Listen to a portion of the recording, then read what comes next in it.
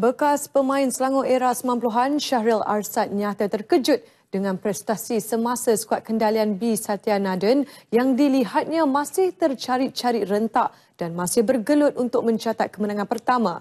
Pandangannya sebagai salah seorang pemain adalah pemain import gagal menyelah menjadi faktor utama aksi hambar Selangor di awal musim ini. Syahril berpandangan pemilihan pemain import sewajarnya dilakukan dengan lebih berhati-hati. Apatah lagi beraksi di pentas tertinggi Liga Domestik, setiap pasukan yang bertanding sewajarnya menyediakan pemain berkualiti. Ketika ini, Selangor mempunyai lima pemain import termasuk pemain tengah berpengalaman dari Kedah, Sandro da Silva Mendoka yang menggantikan Antonio German.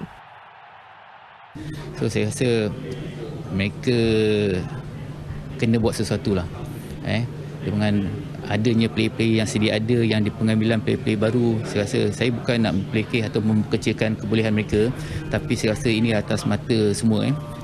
Salah satu bila kita sendiri uh, melakukan kesilapan pengambilan pemain import dan sini dah betul ternyata terpaksa tukar pemain import baru di situ kita dah nampak. Itu belum pemain-pemain lokal lagi eh pemain-pemain tempatan Manakala menyentuh mengenai nasib pengendali semasa B Satya Naden, Syahril menyerahkan sepenuhnya kepada pihak pengurusan Persatuan Bola Sepak Selangor FAS untuk membuat pertimbangan.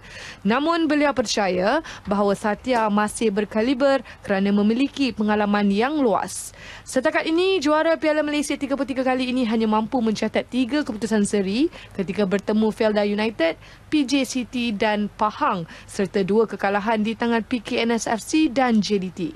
Selangor bakal meneruskan aksi bertemu Kuala Lumpur Ahad ini di Stadium Ceras. Syahril ditemui di Sri Kembangan selepas majlis pelancaran gala dinner dan Carnival Club peminat Manchester United Malaysia iaitu Red Army Malaysia.